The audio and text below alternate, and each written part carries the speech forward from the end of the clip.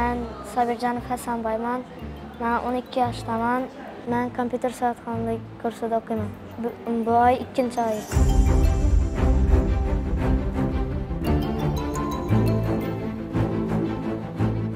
Men kompyuter savodxonligidan boshqa kurs kursdan boshqa robototexnika va dasturlash kurslarini qiziqaman robototexnikada masalan robotni harakatlantirsa bo'ladi. Mani ustozimni ismi jaloliddin yusupov. U bizlarga yaxshi dars o'tadi.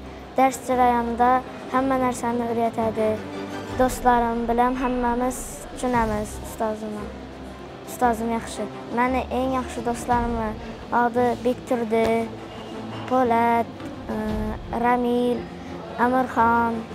Bugun ustozim bizlarga powerpoint dasturini o'rgatdi powerpointda hamma narsa aytsa bo'ladi o'zingizni narsalaringizni saqlasangiz ham bo'ladi yozib matn tuzsangiz bo'ladi biza dars jarayonida kom- keysni kompyuterni keysni ichini ochib narsalarni qarab ko'rdik ustozim aytib berdi noutbukini например ana plata monoblok mani kelajakdagi maqsadim aytichi bo'lib akam bilan opamni yuborish.